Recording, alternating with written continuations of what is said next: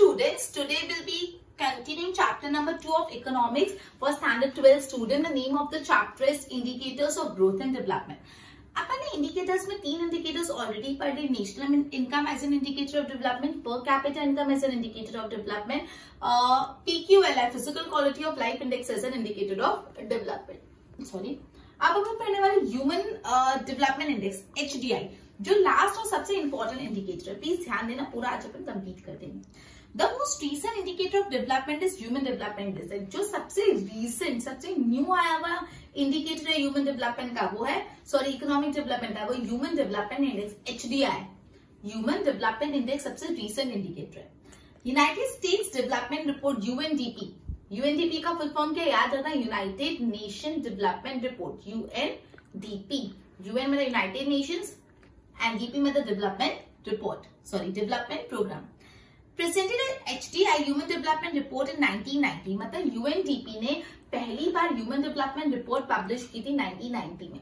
Human development UNDP ने United Nation development programme ने पहली बार ह्यूमन डेवलपमेंट रिपोर्ट पब्लिश की थी इन द ईयर 1990 उस ह्यूमन डेवलपमेंट रिपोर्ट में was presented as a measurement of development along with economic aspect HDI also because a non-economic aspect. HDI की speciality क्या है कि वो सिर्फ़ इकोनॉमिक एस्पेक्ट पे नहीं फोकस करता, वो नॉन इकोनॉमिक एस्पेक्ट पे भी फोकस करता है, ठीक है? ओके अब बेसिकली 1990 में इंट्रोड्यूस हुआ था, फिर 2010 में उसमें कुछ और इम्प्रूवमेंट हुए तो बेसिक इंट्रोडक्शन है एचडीआई का। तो यहाँ पे ध्यान दो पहली बात ये आज रखना जो सबसे recent develop indicator of economic development का हुआ human development indicator human development index clear तो UNDP United Nation development programme ने H D I human development report बनाई थी द ईयर 1990 ये जो ह्यूमन डेवलपमेंट रिपोर्ट है H D I as a major of indicator वो सिर्फ़ economic aspect पे नहीं फोकस करता, वो इकोनॉमिक एस्पेक्ट पे भी फोकस करता है और नॉन इकोनॉमिक एस्पेक्ट पे भी फोकस करता है। 1990 में इंट्रोड्यूस हुआ था 2010 में उसमें कुछ और इम्प्रूवमेंट्स हुए थे। अब आ जाते हैं determinants of human development index जो ह्यूमन डेवलपमेंट इंडेक्स है एच उसके लिए कौन से तीन फैक्टर्स इंपॉर्टेंट या रिस्पॉन्सिबल है? तो देखो, पीछे पेज नंबर ट्वेंटी फोर में तीन फैक्टर्स दिए life expectancy knowledge and good standard of living कौन से तीन फैक्टर्स है, कौन से तीन डिटर्मिनेंट है जो कंट्री का ह्यूमन डेवलपमेंट इंडेक्स बताते हैं? तो life expectancy knowledge and standard of living good standard of living PQ वाला में कौन से थे? एक लाइफ एक्सपेक्टेंसी था उसमें भी। जस्ट अ मिनट फिर उसमें एक्सटेंट ऑफ़ एजुकेशन था इन्फर्ट मोर्टालिटी रेट था। यहाँ पे है life expectancy knowledge and good standard of living एक एक को पढ़ते हैं।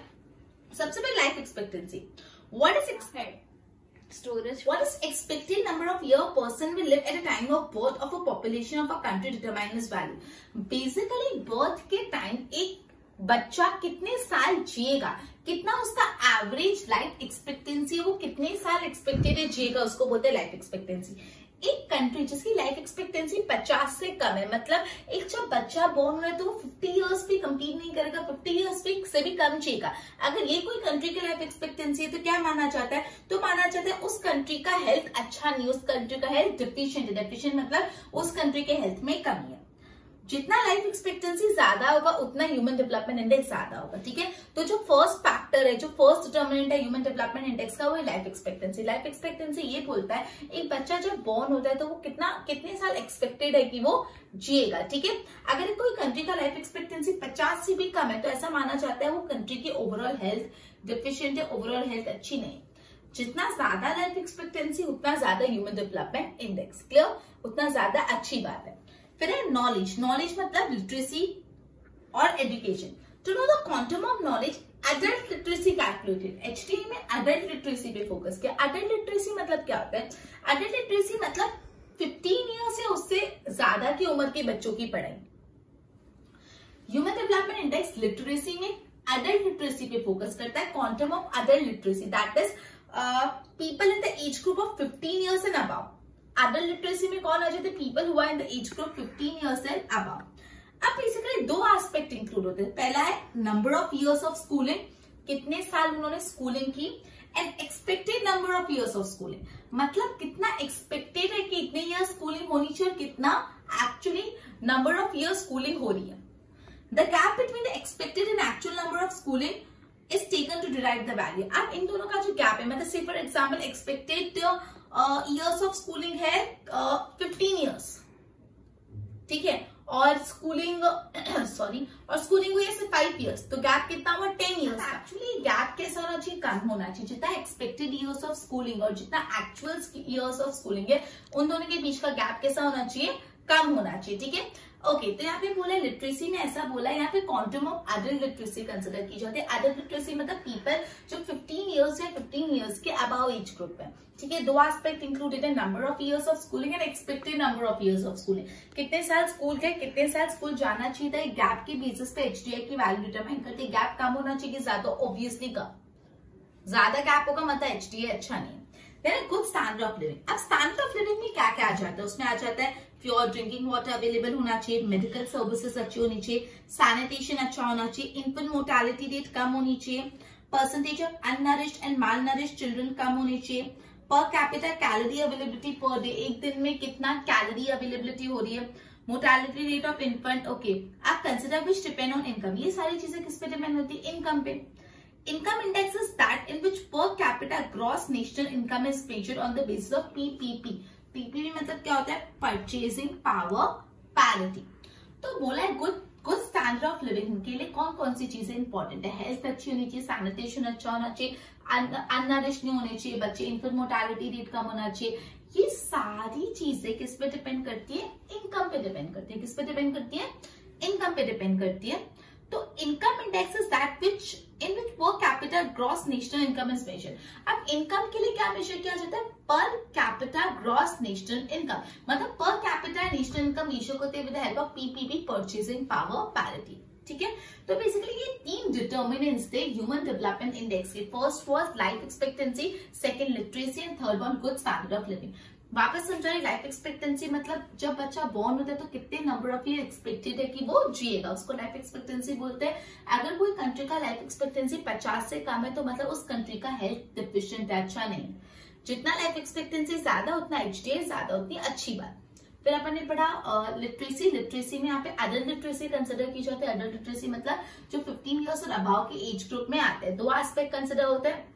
Number of years of schooling and expected years of schooling जितने साल वो स्कूल गए थे, जो गैप है वो कम होना चाहिए क्लियर फिर आ जाते गुड स्टैंडर्ड ऑफ़ लिविंग जिसमें अच्छी हेल्थ अच्छा सैनिटेशन इन्फेंट मोर्टेलिटी रेट कम होनी चाहिए क्लीनिनेस होना चाहिए मेडिकल फैसिलिटी होनी चाहिए, और ये सब किस पे डिपेंड करती है? इनकम पे। और इनकम इंडेक्स कैसे कैलकुलेट करते हैं? पर कैपिटल इनकम के बेस पे जो कैलकुलेट होता है पीपीपी से परचेसिंग पावर पैरिटी तो ये अपने बेसिक इंट्रोडक्शन पढ़ा ह्यूमन डेवलपमेंट इंडेक्स का, और उसके तीन फैक्टर्स पढ़े। अब नेक्स्ट टॉपिक इंपॉर्टेंट एस्पेक्ट ध्यान देना। एक्सटीआई की मैक्सिमम वैल्यू वन होती। पीक्यूएलआई की मैक्सिमम वैल्यू हंड्रेड थी और मिनिमम ज़ीरो लेकिन यहाँ पे एचटीआई की मैक्सिमम वैल्यू क्या है? वन इसकी जो वैल्यू थी एचटीआई की ज़ीरो से वन के बीच में होती। एचटीआई की वैल्यू क्या होती? है ज़ीरो से वन में। पीक्यूएलआई की वैल्यू ज़ीरो से हंड्रेड के बीच में थी, लेकिन एचटीआई की वैल्यू ज़ीरो से वन के बीच में होती। है जिस कंट्री का एच वन से ज़्यादा नज़दीक, वो कंट्री ज़्यादा डेवलप जिस कंट्री का एच वन से थोड़ा दूर है, वो कंट्री कम डेवलप ठीक है? अब 2014 के डेटा हिसाब से, सबसे फ़र्स्ट कंट्री कौन सी थी? Economic development as per H Norway Norway का एच सबसे ज़्यादा था 0.944 मतलब वन से इतना नज़दीक.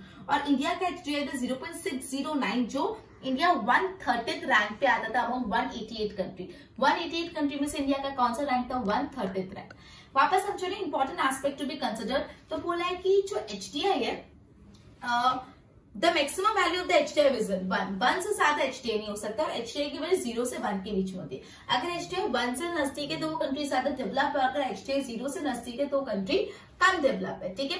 फिर 2004 के स्टडी के हिसाब से नॉर्वे का फ़र्स्ट रैंक है एच टी आई और उसका एच डी था zero point nine four four और इंडिया का रैंक था one thirty among one eighty eight country one eighty eight country में से इंडिया वन थर्टी रैंक पे थी और इंडिया का एच टी आई था zero point six zero nine फिर आपको जो नेक्स्ट टेबल दिया उसमें देखो नॉर्वे का एचडीआई दिया हुआ है, अमेरिका, चाइना, इंडिया, पाकिस्तान, सबका एचडीआई दिया हुआ है और सबके एच रैंक भी दी हुए देखो, नॉर्वे फ़र्स्ट रैंक है, अमेरिका कौन से रैंक पे? एथ रैंक पे।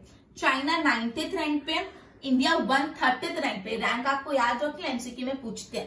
पाकिस्तान का कौन सा रैंक है? वन फोर्टी सेवन और नाइगर वन एटी नाइजर का वन एटी मतलब लास्ट नंबर की कंट्री कौन सी है? नाइगर और फ़र्स्ट नंबर की कंट्री एच में नॉर्वे और इंडिया का कौन सा रैंक वन थर्टी क्लियर चलो, फिर इसका एवरेज एक्सपेक्टेंसी और वो सब दिया फिर मतलब जो अपने तीन वो है ना इंडिकेटर्स वो दिए हुए, देखो। एवरेज लाइफ एक्सपेक्टेंसी नॉर्वे में 81.6 इयर्स है। Schooling 17.5 years average number of number of years in school 12.6 years तो इसका कैलकुलेट किया गया। क्लियर अब देखो, अब ह्यूमन डेवलपमेंट रिपोर्ट 2015 के हिसाब से 188 कंट्रीज़ को टोटल चार भाग में बांट दिया। मतलब चार पार्ट्स में कंट्री को डिवाइड कर लिया पहला है कंट्रीज़ जिनका हाईएस्ट ह्यूमन डेवलपमेंट है। कौन सी कंट्रीज़ देखो, यहाँ पे ध्यान दो। जिस कंट्रीज़ का ह्यूमन डेवलपमेंट एकदम हाईएस्ट है, सबसे ज़्यादा हाईएस्ट है, ठीक है? जिस कंट्री का ह्यूमन डेवलपमेंट सबसे हाईएस्ट है, वो वाली country and average value of human development of course इसमें कितनी कंट्री आ गई one to forty nine country है। और जिनका एवरेज एच डी आई कितना है? Zero point eight nine zero मतलब 188 कंट्री को चार भाग में डिवाइड किया पहला भाग है, जिस कंट्री का हाई जिस कंट्रीज़ का हाईएस्ट डेवलपमेंट है, ऐसी वन से 49 कंट्रीज़ है। मतलब अराउंड 49 कंट्रीज़ है जिनका एवरेज ह्यूमन डेवलपमेंट 0.890 है। उसके बाद कंट्री जिसका जो कंट्री जिनका हाई ह्यूमन डेवलपमेंट है। ये क्या था? हाईएस्ट ह्यूमन डेवलपमेंट ये हाई ह्यूमन डेवलपमेंट ऐसे कितनी कंट्रीज़ है? ऐसी कंट्रीज़ है 50 से 105 रैंक वाली कंट्री मतलब 1 से 49 रैंक वाली कंट्री जिसमें आ जाती है, ये 50 रैंक से 105 वाली रैंक तक की कंट्री आ जाती है, जिनका H D I average zero point seven three five फिर ऐसी कंट्री जिसका मॉडरेट ह्यूमन डेवलपमेंट है, कैसा? Moderate human development moderate human development ये कौन सी कंट्रीज़ है? ये कंट्रीज़ है जिनकी रैंक है 106 से 143 रैंक तक। और कितना है इसका? 0.614 एवरेज और लास्ट में आ जाता है कंट्रीज़ का लो ह्यूमन डेवलपमेंट है। कैसा है? लो ह्यूमन डेवलपमेंट है। ये कौन सी कंट्रीज़ है? 144 से 188 तक की रैंक वाली कंट्री 0.493 एवरेज तो बेसिकली 2015 की ह्यूमन डेवलपमेंट की रिपोर्ट के हिसाब से कंट्रीज़ को चार पार्ट में डिवाइड किया। पहली ऐसी कंट्रीज़ तो जिन कंट्रीज़ का हाईएस्ट ह्यूमन डेवलपमेंट है ऐसी वन से फोर्टी रैंक की कंट्रीज़ है जिनका एवरेज ह्यूमन डेवलपमेंट ज़ीरो है। फिर कंट्री जिसका हाई ह्यूमन डेवलपमेंट है ये वैसी कंट्री जिसे फिफ्टी से वन तक की रैंक है जिसका ह्यूमन डेवलपमेंट है एवरेज ज़ीरो पॉइंट फिर मॉडरेट ह्यूमन डेवलपमेंट वाली कंट्री जो 106 से 143 रैंक की है जिनका एवरेज ह्यूमन डेवलपमेंट है 0.6 पर 614 और लो ह्यूमन डेवलपमेंट वाली 144 से 188 तक रैंक वाली कंट्री जिसका 0.493 एक बार गो थ्रू कर लो। Okay okay. तो चला इस बेसिस पे मुझे पता इंडिया कौन से में आती है। इंडिया का आ, कौन सी रैंक है? वन थर्टी रैंक तो वन थर्टी रैंक यहाँ पे आएगा। मॉडरेट वाले में तो इंडिया मॉडरेट में आती थर्ड नंबर पे। इंडिया थर्ड नंबर पे आती मतलब हाईएस्ट ह्यूमन डेवलपमेंट भी नहीं हाई भी नहीं moderate human development clear okay अब इससे हमने कंक्लूजन लगाया कि सबसे फ़र्स्ट कौन सी कंट्री ह्यूमन डेवलपमेंट के बेसिस पे? नॉर्वे जिसका ह्यूमन डेवलपमेंट है zero point nine four four India का ह्यूमन डेवलपमेंट है zero point six zero nine और कौन से नंबर पे आती है? वन थर्टी नंबर पे। India consider moderate human development countries अपन ने पढ़ी गया मॉडरेट ह्यूमन डेवलपमेंट में आता है। And Niger is the continent in Africa Niger Africa का एक कॉन्टिनेंट है, जिसका ह्यूमन डेवलपमेंट लास्ट पे आता है zero point three four eight last का हमेशा लर्न करने का फ़र्स्ट का भी लर्न करने का और इंडिया का तो लर्न रखने का ही। बाकी के भी हो जाए तो हो जाए बट इतना तो कम से कम करना है। क्लियर तो आपने क्या कंक्लूजन ड्राइव की नंबर वन पे नंबर वन पे नॉर्वे जिसका zero point nine four four है। लास्ट नंबर पे है नाइजो जिसका zero point three four eight है। इंडिया वन थर्टी नंबर पे आता है zero point six zero nine, ठीक है? अब एक्चुअली अब ये कंफ्यूज मत होना कि यहाँ पे तो अलग नंबर्स है। ये एवरेज दिया मतलब एक से फोर्टी नाइन कंट्रीज़ का एवरेज है। क्लियर और इंडिया कौन से वाले ग्रुप में फॉलो होता है मॉडरेट ह्यूमन डेवलपमेंट वाले में। क्लियर अब अपन importance of human development index पढ़ेंगे और लिमिटेशन पढ़ेंगे मतलब H D as an indicator of development उसका क्या महत्व है, क्या इंपॉर्टेंस और क्या limitation first human development index is complete as it is not take only economic factor but also take social welfare. मतलब ह्यूमन इंडेक्स डेवलपमेंट इंडेक्स एकदम complete है बेस्ट है बिकॉज़ वो सिर्फ़ इकोनॉमिक फैक्टर को ध्यान नहीं रखता, वो सोशल वेलफेयर को भी ध्यान रखता है। मतलब एजुकेशन और हेल्थ को भी इंपॉर्टेंस देता है। सिर्फ़ इकोनॉमिक फैक्टर्स पे फोकस नहीं करता सोशल फैक्टर्स पे भी फोकस करता है। दर इज़ एजुकेशन हेल्थ इनको भी इंपॉर्टेंस देता है। Human development indicator indicate the policy maker, that economic development is not only tool, but ultimate objective. Economic development कोई tool नहीं है।